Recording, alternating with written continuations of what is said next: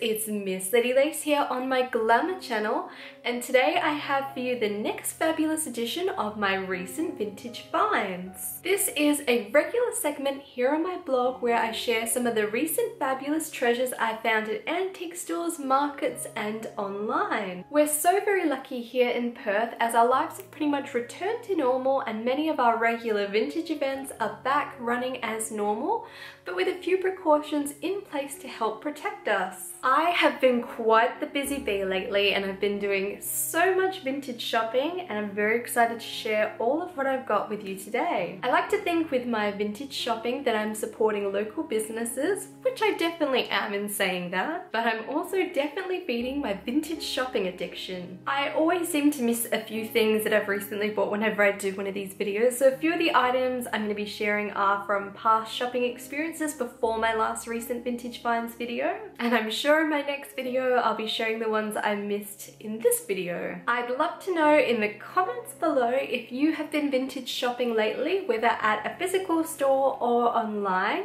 and if you have, what are some of your fabulous recent vintage finds? I do apologise for any strange background sounds. It's one of those days where the neighbours are making lots of noise. Mr. Whippy, which is an ice cream truck that plays music as it goes around, is doing our suburb. And my fridge has also just started making some sounds, so We'll continue nevertheless to get this video up on time to share with all of you. From the pile I've made on my kitchen table, I can see I have so many items to share with you today. And I think I'll break it down into categories like trinkets, fashion, accessories, so I can best share all these items and hopefully not miss anything. Starting in the trinkets department, we have this beautiful vintage talcum powder tin, which is super cute. I bought this from Dr. Russell's Imaginarium in Guildford's. It features a beautiful pink tin, which is what first attracted me towards this item. Anything pink you can guarantee I'm going to love. And it has a gorgeous hand holding a flower, which I just thought was super cute. Interestingly, it's quite heavy and I can feel there's something inside of it, though it feels like it's become a solid at this point. I have not been brave enough to open it and I probably won't attempt to. I would highly recommend not experimenting with vintage powders and makeups just because it may include ingredients which are not safe to actually use upon our skin. So I'm going to keep this nice and closed and just keep it as a display piece. From Bluebird Vintage in Wembley, I bought this super cute little naked lady vase. I think she's utterly divine. I would definitely say she has a little bit of age to her. She features a beautiful blonde naked woman surrounded by some flowers and birds and the little tree trunk coming up behind her is where you can pop your flowers in and display things in there. Looking at the styling and the way the face is painted, I'd probably say she's probably 50s to 60s and she's not marked with any particular brand on the bottom.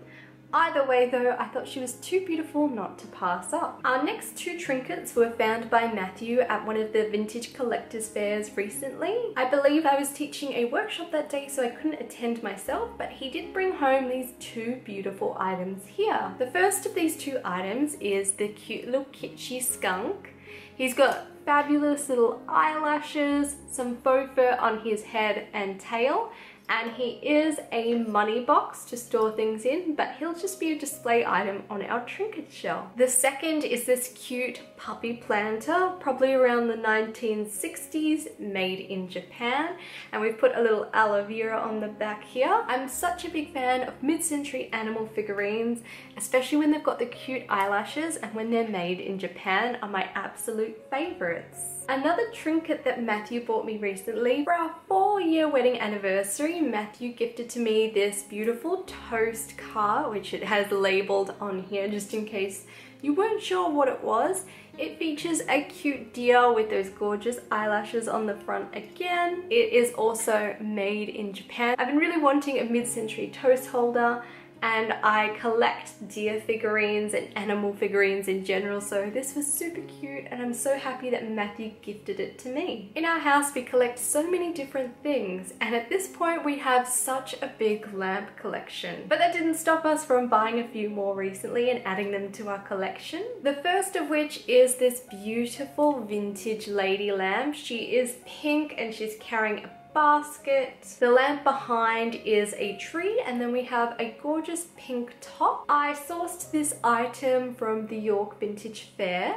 I did a day in the life video maybe about a month ago where I showed some of the highlights from that trip up to York. We didn't buy too much when we were there, but when I spotted her, I thought she would be a fabulous piece to go in my dressing room. We've been doing some redecorating in our living room area. So we already had the pink Barsony lamp, with some rearrangements, we decided that we needed to get a second one. So we added this fabulous red one to our collection. Matthew actually found this on eBay for such a bargain and I think it looks so fabulous up here on our vintage bar.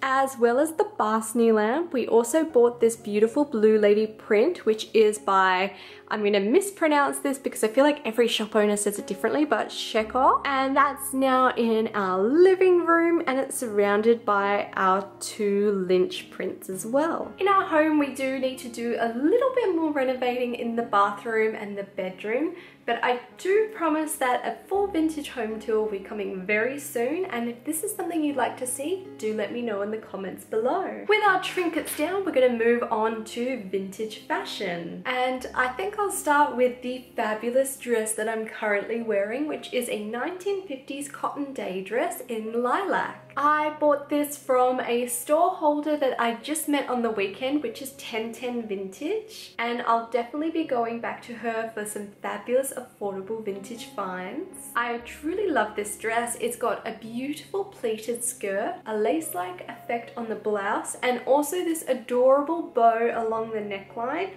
It fits me like a glove, it comes with the matching belt, and the belt actually fits my waist, which very rarely happens. So this is definitely one of my favorite current vintage dresses, and actually a couple of the others that I'm going to be showcasing today are also in that favorite list currently. On my channel, you may have heard me talk about a company before called O. Henry Vintage, which stock true vintage dresses. They have actually been shut for a little while while the owner has been on maternity leave, but she is back and their store is back at the the Enex100 in Perth City. Whilst I was there, I tried on a million dresses and I had such a big pile of items that I wanted to get, but I picked out a couple of my favorites and I decided to take those home with me. Whilst I was there, I got these two fabulous dresses starting with this glamorous yellow day dress here which is super comfortable and it has this beautiful floral print. It's essentially like these beautiful little flowers with green, orange and yellow details and little polka dots in between. I love that the dress has just a light sleeve, it's a super lightweight fabric, a beautiful neckline and it's just that gorgeous length I love falling beneath my knees. The second dress from O. Henry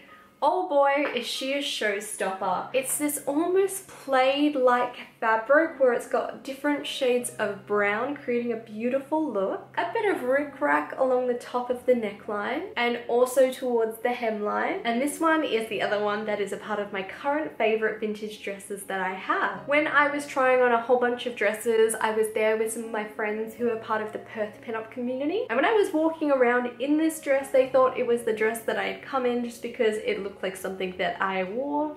So I knew in that moment that I couldn't let it pass me by. Our next dress is one that I received yesterday. It is a 1980s does 1940s number and it's almost like lurex like fabric. It's super cute with some lace detailing at the waist and I think it's just super cute and comfortable. This is the kind of dress that's really good for formal functions or like when I'm at a show and I've got a quick change out of an outfit so this is just easy to wear, super comfortable and I think I'm definitely going to get a good amount of wear out of it. Matthew bought me this dress from Lucy in Disguise which is a fabulous vintage store based in Subiaco. The next dress I'm featuring is one I actually bought a few months ago now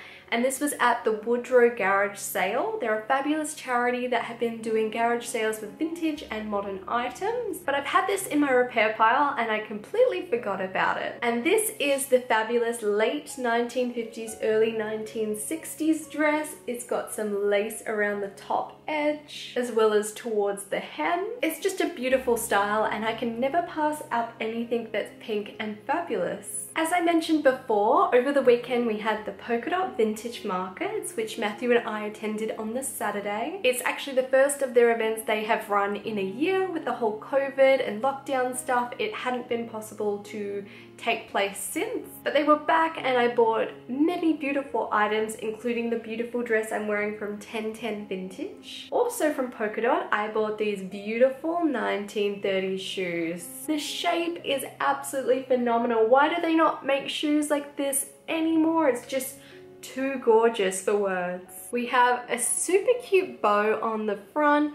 some detailing on the very front of the toe and it's in this like suede like navy blue fabric and I'm in love. They're almost too beautiful to wear. I have been keeping them in my display cabinet for now. I think if I do wear them out it'll be for short periods of time like just going out for dinner because I want to preserve how beautiful they are. From Polka Dot, I also picked up these gorgeous earrings here. They are a 1940s screw-on style from the Dandy Jewels. They're these super cute little fruity designs. It seems to have something like a pomegranate or maybe a strawberry, uh, some little other colored items and some greenery surrounded by little white dots.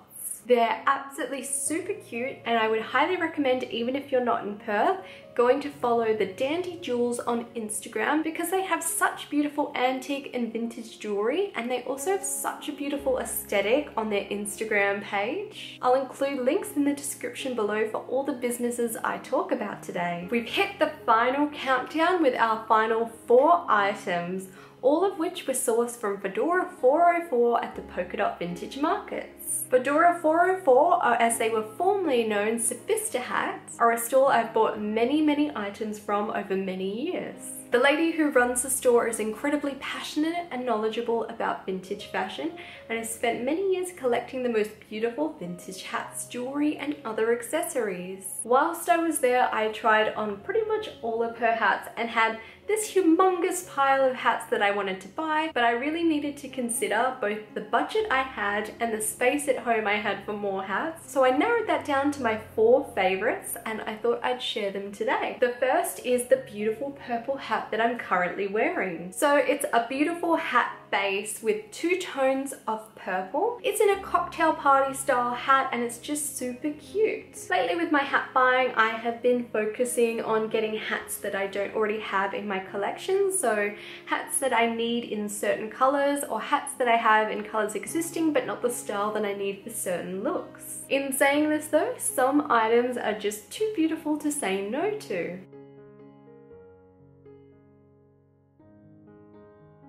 Our next beautiful hat is this beautiful little brown number which features a super cute bow, mink fur and also some netting which is in pristine condition for its age. Our fourth hat and final item for this video is this dreamy 1950s hat. I paid a little bit more than I wanted to on this item but it's seriously, when I try this on, you'll see why I couldn't pass it up. It has a firm fabric with a softer, maybe organza or something on the side, but on here there are some beautiful hand-painted flowers which are just simply stunning. So on the day I did try it on, which I'll pop a little video here just because I was so happy when I tried it on, but it looks fabulous and I can fit it behind my victory roll like so. The real magic happens though when I turn around. Now, I discovered it looks really cute this way, but how great it looks when I wear it angled forward. It now creates that beautiful peekaboo illusion, which I think is utterly divine and a little bit different to my usual look.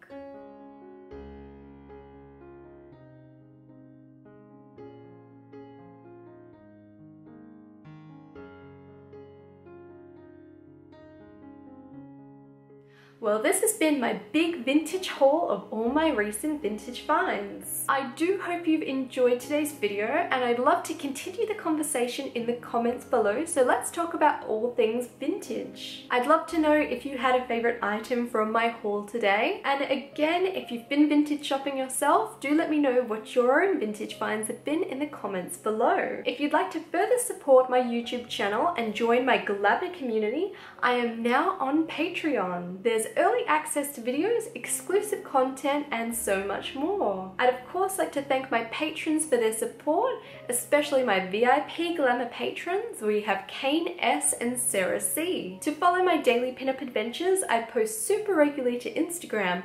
I'll pop a little link here as well as at the end of the video. And to never miss out on one of my YouTube videos, be sure to subscribe and turn on the bell notifications and I will see you in my next vintage video.